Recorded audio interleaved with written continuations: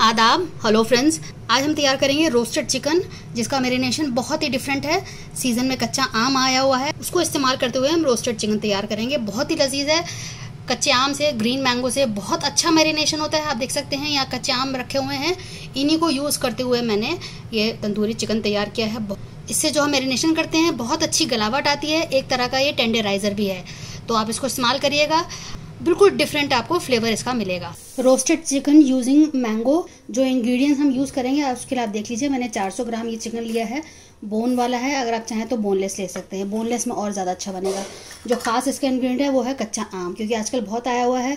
Vitamin C rich है क्योंकि immunity हमें बढ़ानी है तो उसके लिए ये बेस्ट है।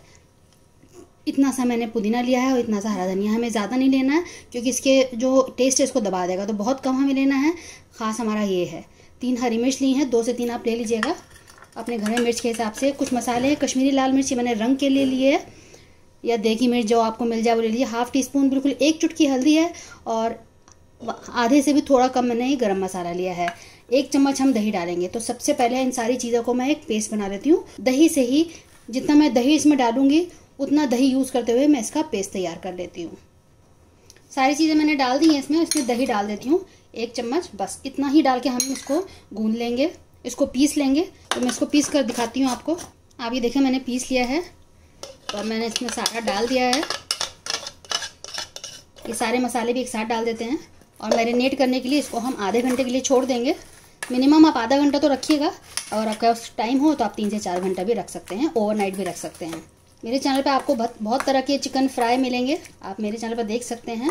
पूरी प्ले लिस्ट है। नॉन वेज पकौड़ा करके होगी। उसमें आपको हर तरह के फ्राई रोस्टेड तंदूरी सब मिल जाएँगे। तो एक बार आप इसको ज़रूर देख लीजिएगा। मैंने नमक नहीं डाला है तो नमक भी मैं डाल देती हूँ।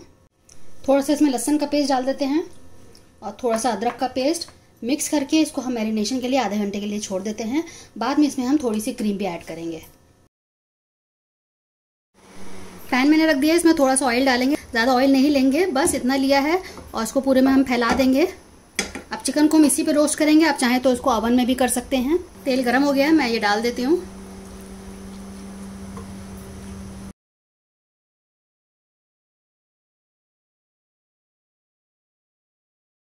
तो बस फ्लेम को अब मैंने मीडियम कर दिया है।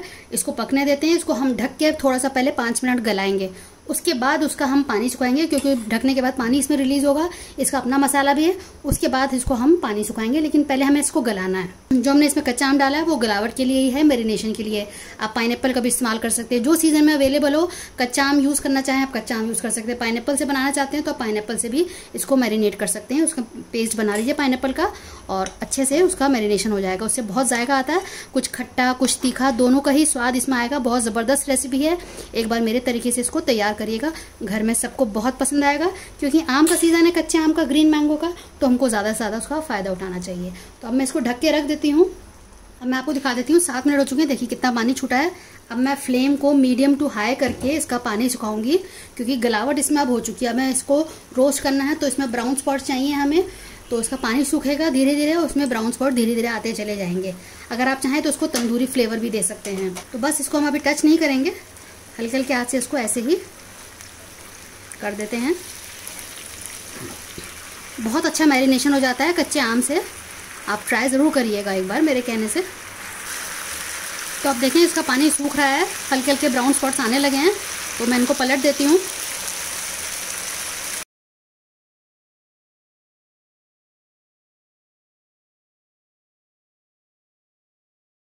तो आप देखें बिल्कुल सूख गया है पानी इसका। जो उसमें मसाले थे सूख गए हैं। अब इसको अलट पलट हम करेंगे दो तीन बार, ताकि ब्राउन स्पॉट्स आ जाएँ, जिससे कि लगे कि हाँ ये रोस्टेड है। देखिए, इस तरह से पूरे में हमें ब्राउन स्पॉट्स चाहिए। बस हम इसको अलट पलट अप करेंगे दो तीन बार तो ये हो जाएगा। बहुत अच्छी गिलावट हो गई है।